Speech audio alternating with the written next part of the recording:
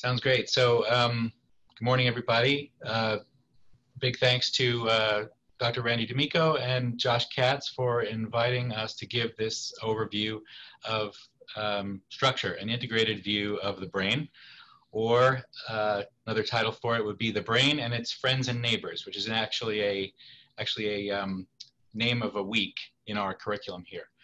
Uh, I'm Robert Hill. I'm an anatomist at the Zucker School of Medicine, and I'm joined today by Dr. Rosemary Bassey and Shannon Knutson, both anatomists who work in the Department of Science Education here at the Zucker School of Medicine.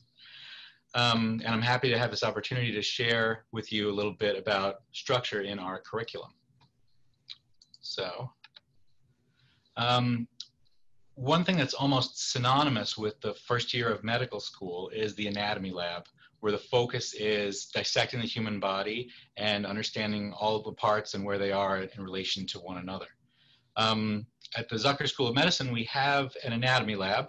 Um, elsewhere, it's called a, a, cadaver lab or a gross anatomy lab. Uh, at the Zucker School of Medicine, we call it the structure lab. And the reason for that is because the donor body, while we do some dissection, is not the only focal point. Um, it's one among a multitude of resources. And we really focus on integration of those multiple resources and integration of multiple disciplines. Uh, so as you can see at the bottom there, we made the very deliberate choice to call this the structure lab because what's integrated is uh, the multiple disciplines of anatomy, embryology, histology, which is microscopic anatomy, um, medical imaging, and then also pathology, both gross and macroscopic, um, gross and microscopic pathology. Uh, and we do this by way of a dialogue-based approach uh, where students prepare ahead of time and then they come to class ready to solve problems.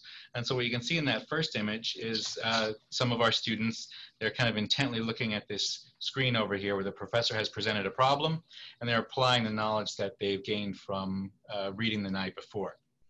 Uh, just a little side note, the students that you see here were photographed in their first year, but these are actually the students who just graduated in April. They graduated uh, early without very much pomp and circumstance to their graduation ceremony to enter the workforce early uh, and start to address the COVID-19 pandemic.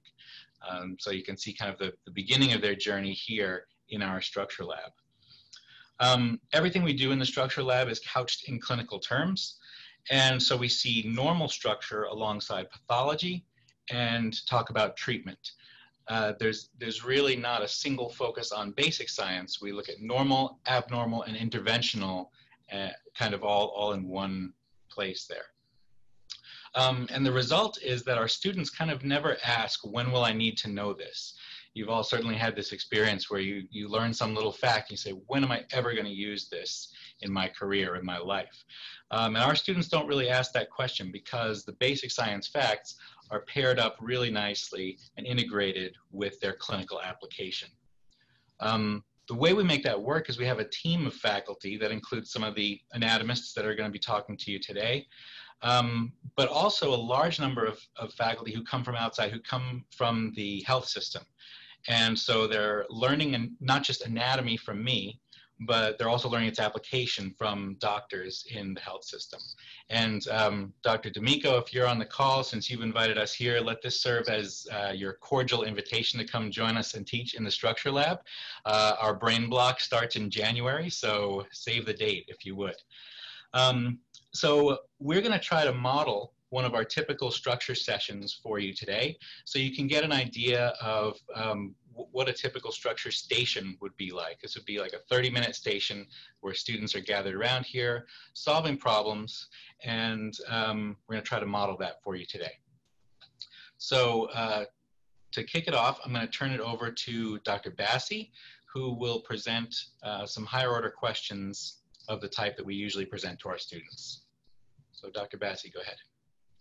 Okay, thank you, Dr. Hill. Um, so we'll kickstart this session with a brain teaser. Um, okay, so who's ready for that? Next slide, please. Okay, let's see. So what we're gonna do here is look at the questions, the higher order questions. Um, they're not really questions, they're like statements and try to match them up with the area of the brain that you can find this. So um, let's get started with A. Let's start with A. I, I've already seen E, Rachel. Um, so, okay, number five. So what is number five called? Central sulcus. So what is the central sulcus? What is the, what does it separate? So this is the central sulcus, as you can see here, right? So what does divides the sensory and motor cortex? Yeah, frontal and parietal lobe, that's good, that's good. Okay, what about B? B, two, two, what is two? Frontal lobe, okay personality and emotions. That's good. That's good. Um, there's a case of a, a famous uh, footballer that had a frontal lobe injury. So what what happened? What would what would happen if you have um, frontal lobe injury or lesion? in this case, you're talking about mood change, emotional problems, more aggressive, exactly. And he ended up being jailed um, for murder. So these are not all the frontal lobe does, but that, that is a good idea. That gives you a good idea of what it does. Um, what of C? C, four, okay. So what is four? Parietal lobe. Okay, good, good. Okay. Um, what about D? Three, what is three? Temporal lobe.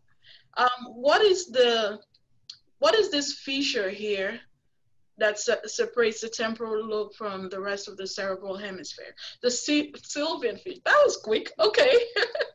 okay, so that leaves us with E, right? E, everybody should know E, occipital lobe, perfect that that went really well. Okay, let's move on to the next one. Good job. Okay. Um, this is easy, but let's start with what view are we looking at? What view of the brain are we looking at here? Sagittal, okay? Specifically, mid sagittal, because it's like perfect. Yeah. Okay, yeah, that's good. So let's see, let's start with eight. This should be pretty easy. You guys got midbrain, exactly. Okay. Um, so what about B? One, what is one? Medulla oblongata. And you can see one here. So what is the part so we can have the spinal cord continuous with that. That's perfect. So what's this part here in the middle here? The remaining part of the brainstem. The pons, perfect, perfect, awesome. Okay, so that leaves us with C. Two, what is two? Cerebellum. Oh my God, everybody's here is an expert. Okay, that, so you can see from the brain teasers, we've successfully looked at the topography of the brain, right? Just by doing that. Perfect. Okay, next slide. And actually, before we move on, Dr. Bassey, I just wanted to point out uh, everybody did great on that little brain teaser. Mm-hmm. And the only difference of uh, the way we would present this in our structure lab is that there's 1,200 students in attendance instead yes. of about five or six. We usually try to aim for really small group interaction, and that's it's kind of a double-edged sword because our students um, our students can't hide in a group that small, and so they need to be really prepared to be able to answer questions like this. The other thing that I wanted to point out is that um, the questions that we ask are of a second order or application type. So you notice Dr. Bassey didn't ask you, hey, where's the cerebellum? Instead, she asked, which is the part of the brain that's involved with posture? And so this is this is forcing students to say, yeah, I already know the brain topography, and you guys did great. You know, you're answering kind of uh, fast and furious, um, but you have to think a little bit further to link and make the connection between that structure and its function. Okay, so this is just a cartoon um, that just um, summarizes all that we talked about earlier. Um, basically, we do this so the students can go back and review and make sure this is not all inclusive of all the functions, but just to have an idea of what they generally do. Okay, so next slide, please. Yes, so now we're looking at the different orientations of the human brain. Let's start with A. So from where are we looking at the brain from? What would we call this view? Inferior view, caudal. Yeah, inferior, you're looking at it from the inferior aspect. Yeah. So it's inferior. Yeah, you're looking at it from inferior. But what would you call it in terms of, um, I, I just saw ventral. Why did you say ventral? I'm interested.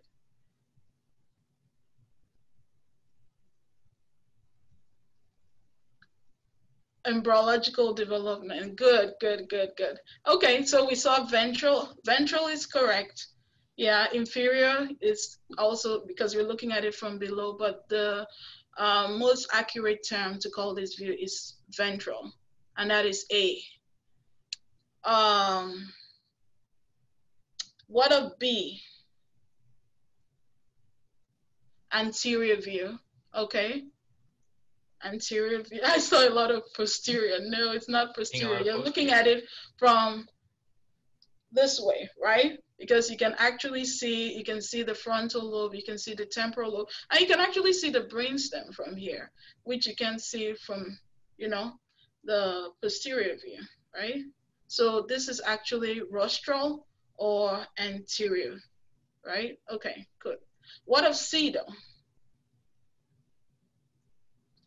Superior dorsal, dorsal view, and it's from superior, yeah, superior dorsal is more accurate, especially because of um, the developmental aspect of it, which we're going to be looking at in the next slide. So I could see a lot of, you know, different um, versions, a lot of different answers, some a little bit of confusion about like which is the ventral, which is the dorsal, and we're going to look at that in the next slide.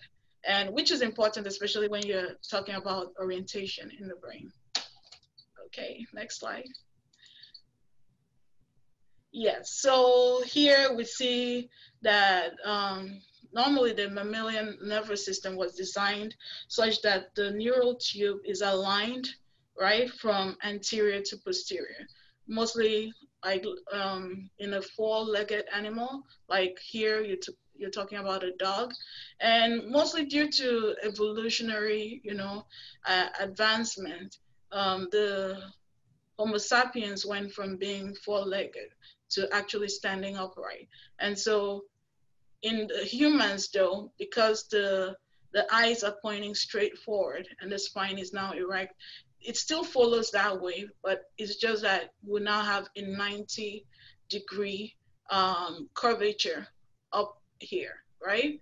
And so you still name the uh, view of the brain according to how it was in the dog, right? So you have the dorsal will still be the dorsal part of like the spine up onto the head in the dog. The ventral one will also reflect the that same part. So you see the ventral will go up onto the jaw, as you can see in the dog. And that would tell you the same way you would view the brain in the um, in a human. So if you compare, let's say the views on the right right? Comparing the rostral, caudal, dorsal, and ventral view in the dog is still the same as that of a human, right? Okay, so no comments regarding to that. Okay, perfect. So, but with every living tissue, next slide, please. With every living tissue, it needs nutrition to stay alive. You know, it needs oxygen. And now we're going to look at the blood supply to the brain. So who has any idea how blood supply gets to the brain? Any ideas? What What is the source of? Yes, there's anterior and posterior circulation, carotid arteries. Yeah, carotid, that internal carotid. Yes, that's what I was looking for, right? Okay, and vertebral arteries. Okay. I like uh, no. the heart and the aorta in there too. Yeah, I, am no, it's not from the aorta. It's not from the aorta. Both the vertebral arteries and the car- internal carotid uh, are from the subclavian, right? But, yes. but ultimately from the aorta and the heart. Yeah, ultimately, exactly, but that's so way down. okay, let's get to the next slide. Circle of Willis. Okay, yeah, so you already know about that. So this would be one of the sources of um, blood supply yeah, contributing to the circle of Willis. So what does a, what does the internal carotid artery contribute? How does it contribute to the circle of Willis? So what branches? Any idea? ACA and MCA. I'd say, okay, so that's the anterior cerebral artery, right? And the middle cerebral artery. Okay, let's look at it from, are you seeing my mouse? I'm not sure. Okay, so the ACA here, anterior cerebral artery, and the MCA, the middle cerebral artery here. Cool. And so that's the anterior contribution to the blood supply, to the circle of Willis, yes. Okay, so how about the vertebral artery? How does it fit in here? So these are the two vertebral arteries, right? Basilar artery, yes. Then, okay, used in the on the pons, perfect. That's on the pons. So it brings, it contributes the posterior cerebral artery, right? So that is what is the um, posterior contribution to the blood supply in the brain. So what makes this a full circle now? So what, how does it anastomose? What is that thing that connects the um, anterior and posterior contributions? So we have these two. Um, the anterior communicating artery, okay. How, yeah, that is up here. Yeah, that only connects the two anterior cerebral arteries. It doesn't connect the anterior contribution and the posterior contribution to the circle of Willis. Yes, the posterior one. So this is the posterior communicating artery here. And you can see how it kind of causes um, anastomosis with um, the anterior contributions, right? So you have the posterior cerebral artery here, and the posterior communicating artery now fuses it to the um, branches of the um, internal carotid artery. Good. So it now forms a full circle, right? It's almost going through a traffic you know, circle here, right? And you can see that on the right um, diagram, the one on the brain. So that is how you would see it on um, a brain tissue, right? So it forms a full circle. So do aneurysms occur at the areas of bifurcation? That, I mean, that, yeah, those are possible. And why do we have, one question I have to ask is, of what benefit do we have, um, do we derive from having this anastomosis, really, of blood supply from two different areas? Arteries can take over. Vicky, how do they take over? Division of blood flow, yes.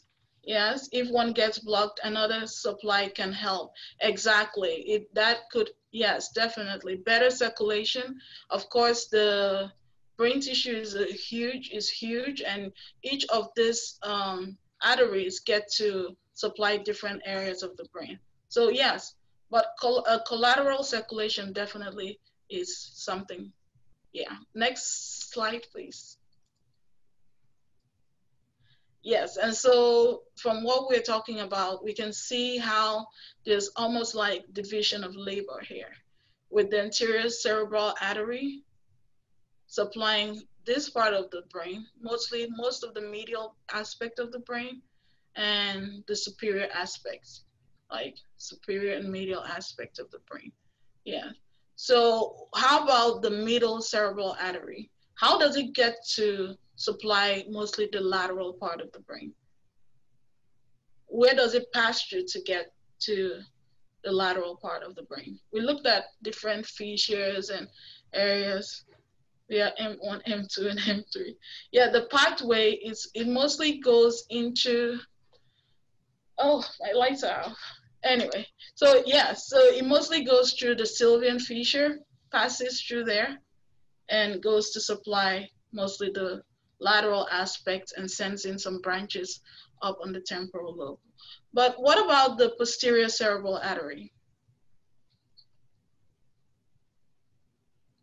So we can see it mostly around the occipital and inferior aspects.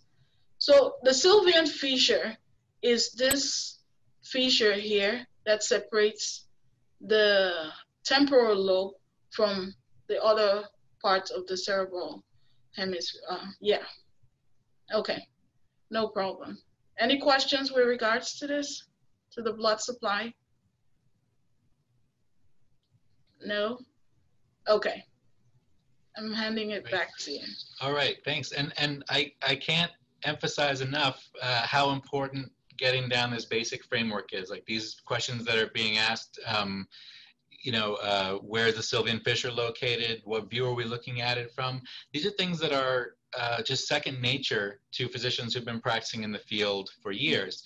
Um, but you have to build it up from a firm foundation. And so these, these questions are uh, important to really start with. All right, so now we're gonna go live to our correspondent, Shannon Knutson, who's gonna show us some of the um, specimens that we would see in our structure lab. And Josh, I don't know, can you um, spotlight Shannon's video for us? Yep.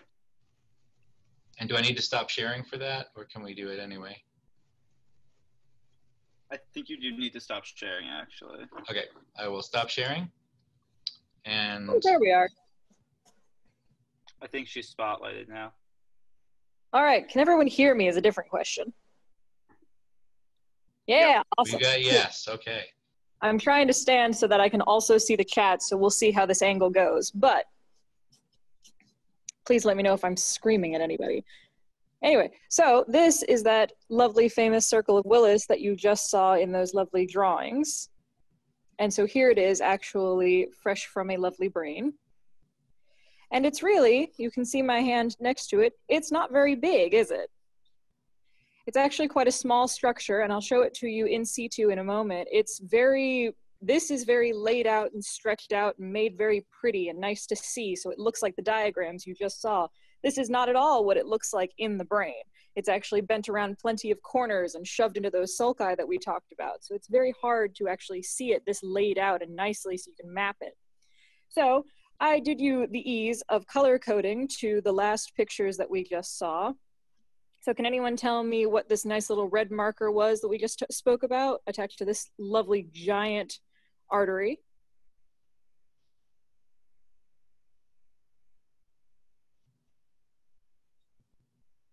Yeah, so that's going to be your MCA. That's your middle cerebral. That's how big this thing is, which I know it doesn't seem very big outside of the context of most arteries, but for the brain, that's a lot of space to take up.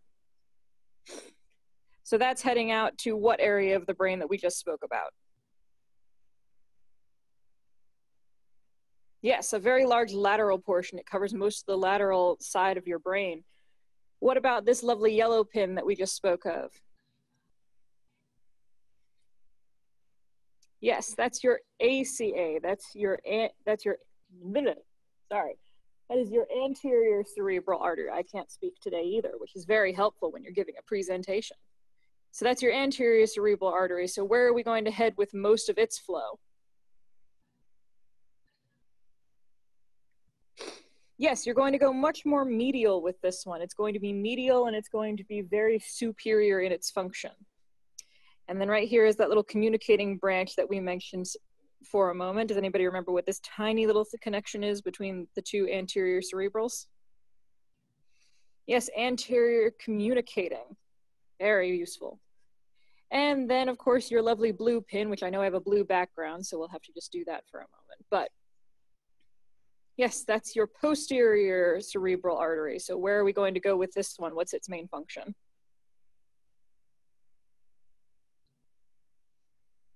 Yes, it's going to go do basically your entire occipital lobe, going to go very posterior, and it's actually going to do a fair portion sharing with your middle on what lobe? Yes, exactly temporal. You're going to have a large, about half of your temporal lobe is done by your posterior and about half is done by your middle, depending on whether you're talking about the superior portion of it or the inferior portion of that lobe. So now that we've seen this lovely and all pinned down and held together so it's a nice straight lines and everything, let's look at it more in situ.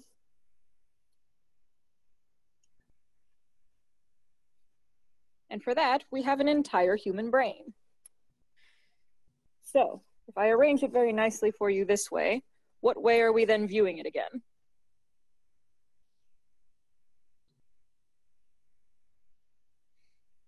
Yes, this is going to be that superior dorsal view that we talked about. This is as if you opened somebody's skull and looked directly down at their brain. So this is going to be the top of their brain. And then in order to see the lovely circle of Willis we just left, we're going to turn over to what side? Ventral and inferior, exactly. So this actually, right here, anyone remember what this nice big artery was leading up to the circle? Yes, basilar. Basilar is this nice thick one right on top of what structure that we spoke of?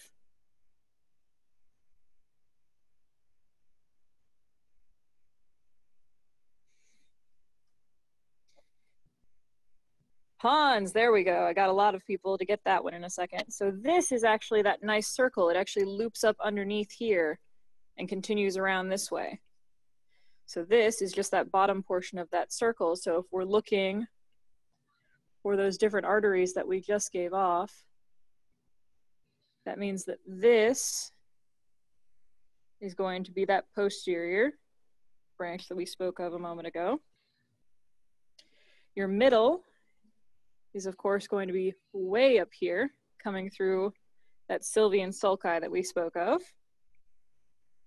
and going out to do this large lateral side.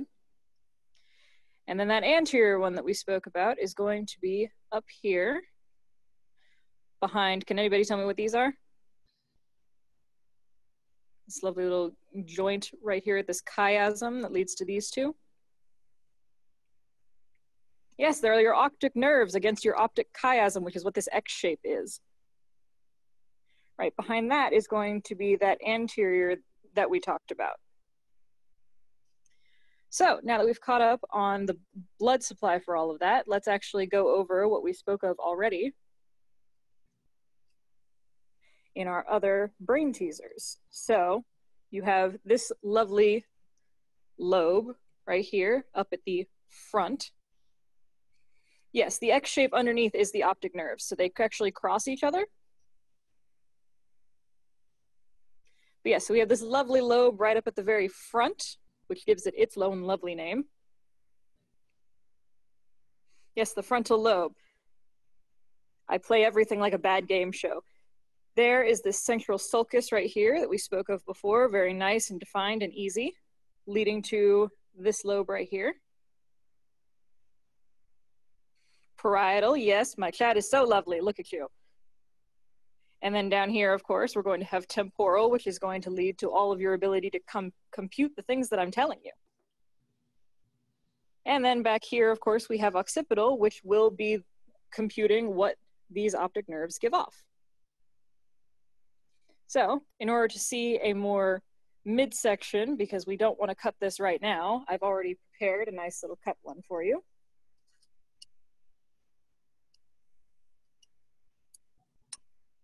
And so this is what kind of view again?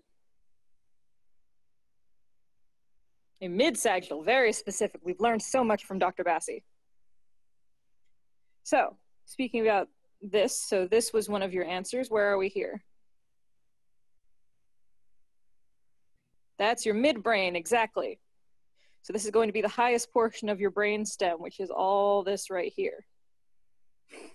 And this was where that basilar artery was laying on before. So that's your pons, this nice little circle. It's very defined, actually. And then this is that continuation, right? Lovely medulla oblongata. And this tiny little bell that hangs under your brain is the cerebellum. Now, if you want to talk about whether something is continuous or not with a spinal cord, I suppose I should prove it to you. So, this is a brain, as we just saw. And this is the medulla that we just saw. And this is an entire human spinal cord that we removed all in one lovely piece for you. And now you'll notice that down at the end here, it's a lovely cord. It's very defined. It's a lovely cord that gives off all of these nerves at different levels, and you can see all of the rami together. It's very pretty. And you can see all these lovely meninges still wrapped around it and all these pieces. These dorsal root ganglia, which is these little knob-looking things. And it's a nice solid cord until you get down to about here and then it kind of looks like it starts to fray. Well, is it deteriorating? What, what's happening here? A lot of you are writing horsetail. Yes, so these are actually individual nerve endings. They're called cauda equina, which is why some people were saying horsetail, because that's what it actually tends to look like, is a horse tail. So this is what happens to your spinal cord down at the end, down by your sacrum. It will actually start to divide around L1, L2, depending on the person. And it will actually start to divide here and become individual nerve fibers to continue on because eventually you run out of spine for it to be housed in. So then all these nerves can't travel as a solid cord together anymore. They have to go ahead and split off of the spinal cord so that they can go do their jobs down in the legs. And now, can anyone, very extra credit question, can anyone tell me what this is right here? This very central point here. Yes, exactly, Sarah. Filum terminale. This is the very, very, very last strand of your spinal cord as a whole thing. And it will actually go down to the very tip of your sacrum because it's not actually a nerve it doesn't have any nerve tissue in it. It just continues down and is used as an anchor point at the end of your sacrum to hold your spinal cord down there so that it can't wiggle around inside of your spine.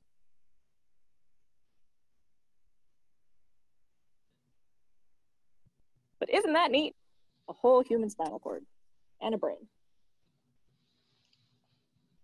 And with those meninges that I just talked about, actually, I'm actually going to go ahead and give it back to Dr. Hill back upstairs because he's going to tell you all about what the meninges are and how you can figure out different hemorrhages and blood flow.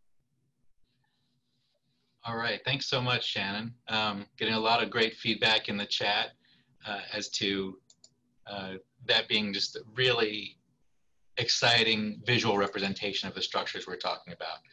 So maybe we should make a uh, popular TV show out of this, Shannon's Brain. Tune in every hey. week. Hey, I've already said we should start an Instagram.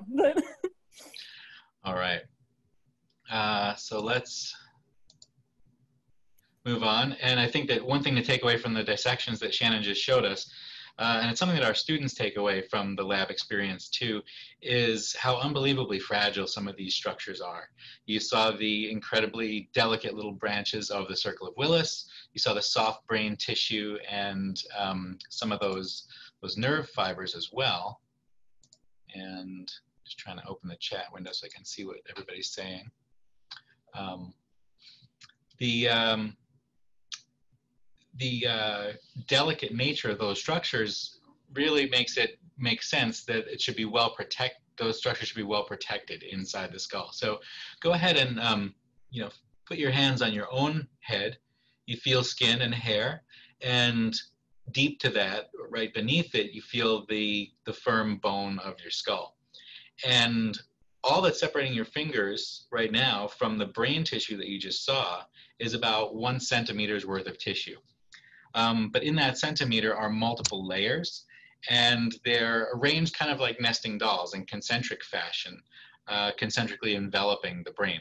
So right here you can see the scalp that you would have been touching, uh, the bone of the skull, and then deep to that are the meninges. And I bet there's some people on the call who know what they're called from from internal to, uh, sorry, from external to internal. There you go. Thank you, Tedric. Uh, dura, arachnoid, and pia. Right? And this is one of those cases where the anatomical names can help you out with remembering what the structures are. Uh, so dura is so named because it's durable, it's tough. Arachnoid is so named because, like arachnophobia, it looks kind of cobwebby. Uh, spidery, thank you.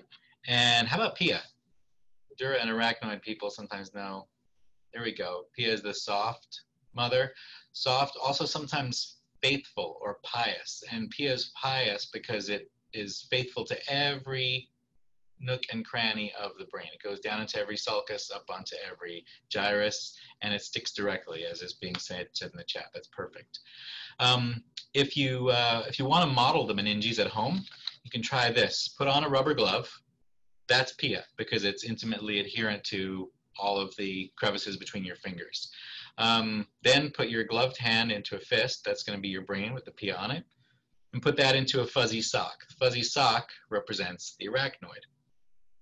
And then after that, you can put the whole thing into a big rubber boot. Rubber boot's tough like the Dura.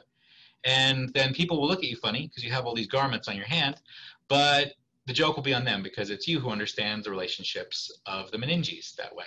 So Dura, arachnoid, pia, and that's their relationships. Um, again, this is not just one of these little factoids to remember, but the, the importance is that blood vessels lie between each of these layers. Um, and there's different ones at risk depending on many factors like age and patient history and so on. And so if you're the doctor, you really want to know where that bleeding is occurring because that will affect how you treat the patient. So question, if you're the doctor and you're concerned that a patient might be bleeding inside the skull, how would you go about finding out?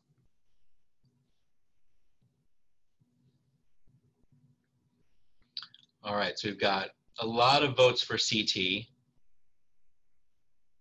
one for burr holes, one for MRI.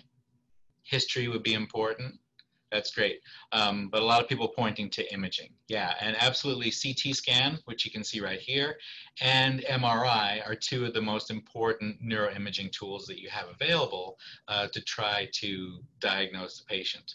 Um, again, going back to the basics, the way that uh, CTs and MRIs work, they, they technologically is different, but they generate very similar images in that they generate a slice of the body that's always visualized uh, conventionally as though you're looking at the patient from the bottom up. And so that means that the patient's right is over on this side, patient's left is over on that side. And if you have trouble remembering this, because I always did when I was learning this, if you have trouble remembering this, this picture down here actually helps with it. Imagine you're walking into a patient's room and you see their feet first coming out towards the door, you can envision a series of slices through their body and looking at them from the bottom up. And that, that, kind of helps you remember which side is left and which side is right. So I'll tell you for free, this is our normal CT scan of the patient's head.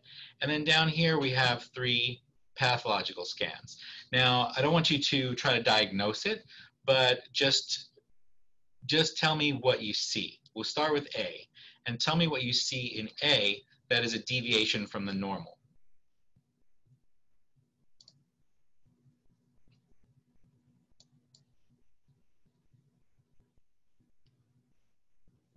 I'm having trouble seeing the chat. If anybody's, can anybody see some of the answers in the chat? Yeah, I'm seeing bleeding on the right side, bleeding between the meninges layers. Wonderful, yeah. So you're seeing some bleeding on the right side, evidenced by this. And if you have a fruit basket at home, what uh, what item of fruit does this look a lot like?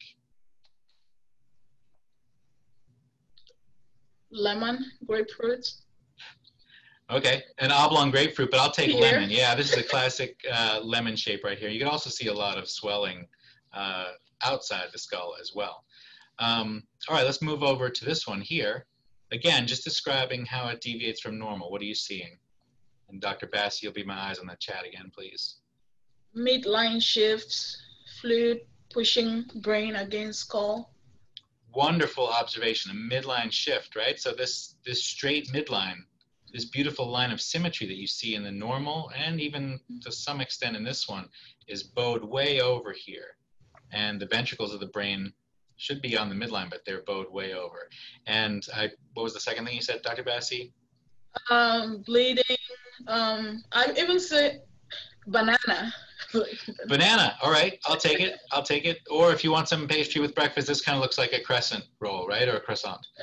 That's There's a lot of fluid, fluid answers. Yeah. Okay, good. A lot of accumulation of fluid. That's these are great observations. Uh, and let's go over to this one. Now, this one's actually taken at a little bit lower level. You can see here the frontal lobes and the temporal lobes uh, of, of the brain that, that Shannon and Dr. Bassey were indicating later. So um, it's kind of cheating because we're a little bit lower. But what do you observe here? I'm seeing aneurysms, ischemia, tumor. Okay, so you're making interpretations of aneurysms leading to ischemia, maybe some some something uh, like a tumor. You're seeing this out of place. That's probably just bone. But these are all good observations. And then what shape do you see kind of centrally on this slice? Seeing star. You see a star, right? It looks just like a big starfish. Fantastic. Uh, and so all of these are indicative of bleeding, but it can be further localized to where among those layers, where among those meninges the bleeding is taking place. Um, so it's almost like a, uh, it's like a, a, a really bad uh, slot machine that comes up instead of like three cherries in a row, it comes up lemon, crescent, and star. But each one of them points to a specific uh, location of bleeding relative to the meninges. Um, so these are great anatomical descriptions, but they're just observations until we put them in some clinical context. And one thing that we will often ask our students with a question like this is, tell your patient's story. I know some of you are starting to think, okay, did this person have an aneurysm? Um, did this person have trauma? I don't know if, if that was in the, the chat as well. Um, so we don't have time to ask for a uh, for you to write a story about each of these patients. Uh, sometimes we'll even make it fun. We'll say, okay, let's say you had these three patients to report on, and as you were running down the hall, you dropped the CAT scans on the floor and they got mixed up. How are you going to re-associate them with their stories? So here's three stories. They're jumbled up. Take one minute to look at these. We have a healthy 30-year-old man with sudden double vision and his words, the worst headache of his life. We have an 82 year old woman who is hanging curtains when the rod fell and bumped her on the head. And then we have a college baseball player who was struck in the side of the head by a line drive. Let's say he's a pitcher.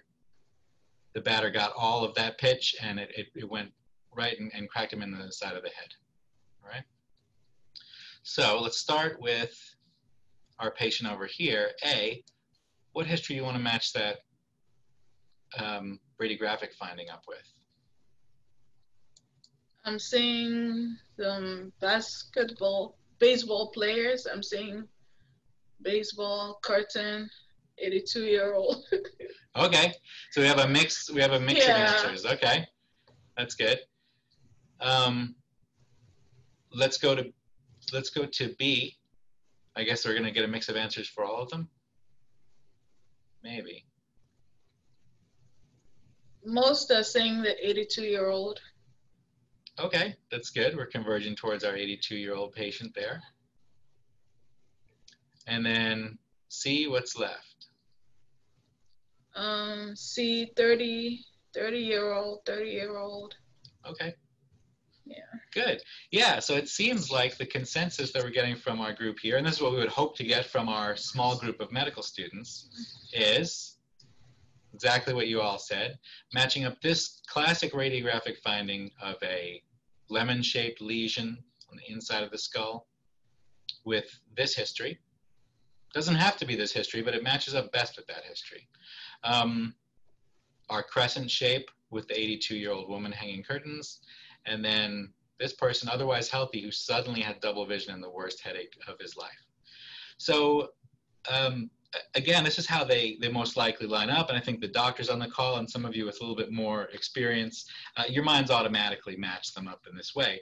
But there's a step in between in that thought process, um, and that's the knowledge and understanding of the anatomy that's underlying. So let's look at that.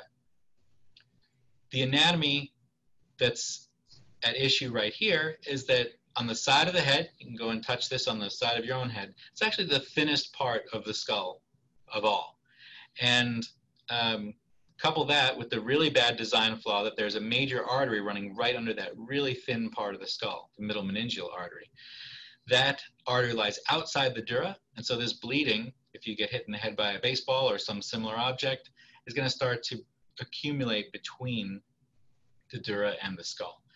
Um, this is really dangerous. We saw the the uh, recommendation of burr holes to relieve that pressure because these patients will also often go unconscious, then they'll wake up and have a lucid interval and then rapidly decline unless you remove that pressure. Uh, so that's got to be treated emergently. That's called an epidural hematoma because the bleeding is taking place outside of the dura. Where else in clinical parlance do you hear this term epidural?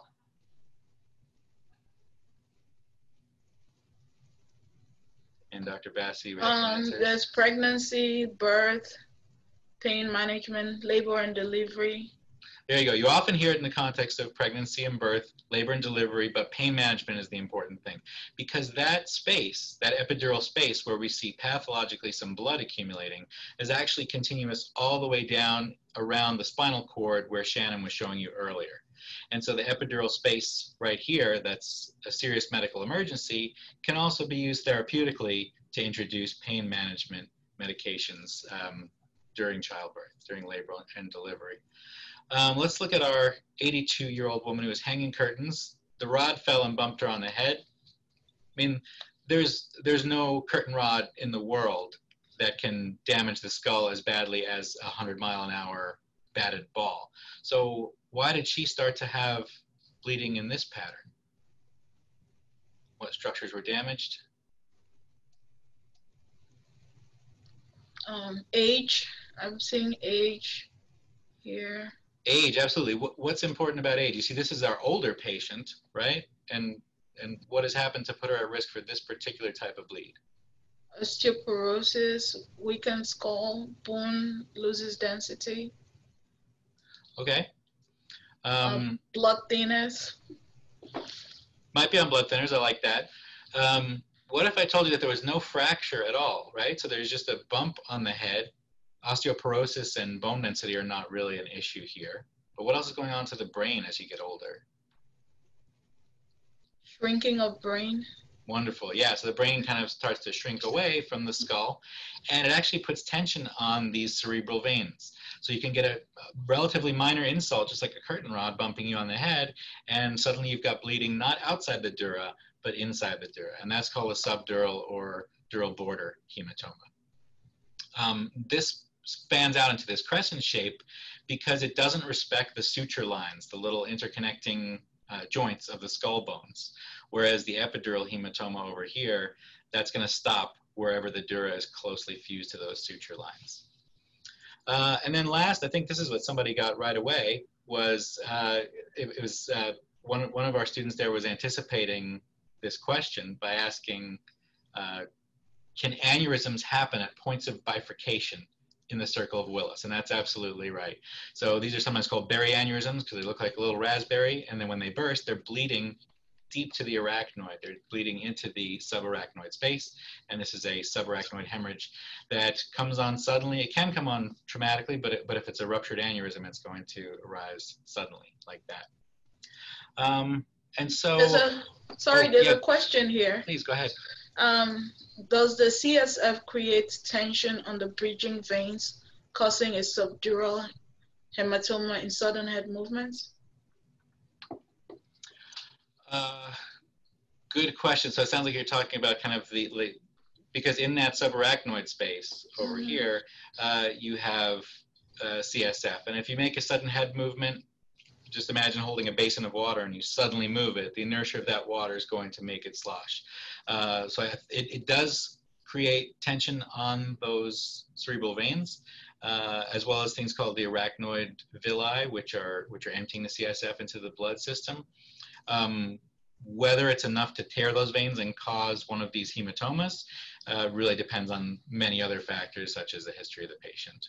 That's a fantastic question. And that's the kind of broadening questions that we like to get our students to ask so that um, so that they're making connections. And this is the point that I want to leave you with is that uh, connections are key, whether you're planning to apply to medical school or whether you're going into any kind of science field, whether you're um, going into an allied health field, whether you've been working in the health related field for years, it's really important to make these kinds of connections because the basic science facts that you know are only as important as your understanding of their application. So these are the kind of connections that we try to build on a daily basis in our structure curriculum. And it's been a um, pleasure to have the opportunity to kind of give you a little demo of that. And hopefully there's some students on here who uh, will join us in a future class. I think we have some time for questions. So thanks everyone for your attention.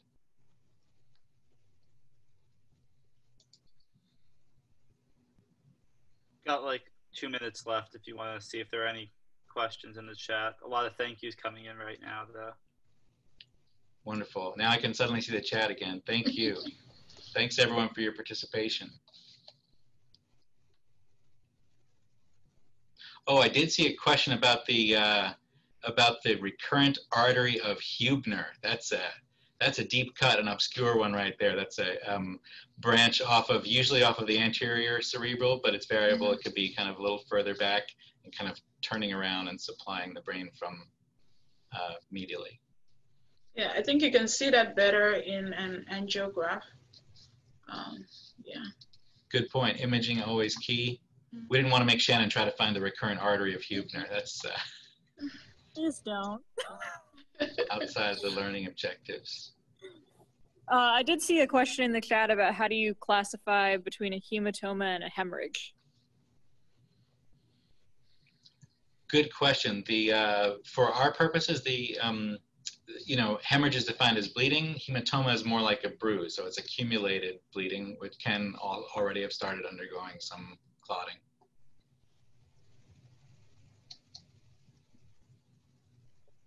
And another one about how in medical school, do the students look at animal organs as well or only humans? Shannon, you want to take that one? Uh, the answer is in our lab, at least, it's all human as far as I've seen in my, you know, year plus here. Um, everything that we do is all human related. Uh, there are, I have taught and been in some classes where you can have some analogs for things. So, like, if they wanted to, uh, in some medical schools, if you wanted to actually dissect, say, an eyeball, they can get uh, analogs for that, which is usually cows. Um, however, we do use human for our labs. I thought you were going to mention, Shannon, that in a pinch we can use animal uh, dissections, and we were kind of forced to go that way because of the COVID 19 pandemic. We taught our heart and lung course online exclusively, and since we couldn't access our lab, Shannon very bravely got some hearts and lungs from the butcher, uh, pig hearts and sheep hearts, to demonstrate those. So, in a pinch, we'll use uh, animal models, but we'd love to use human whenever we can.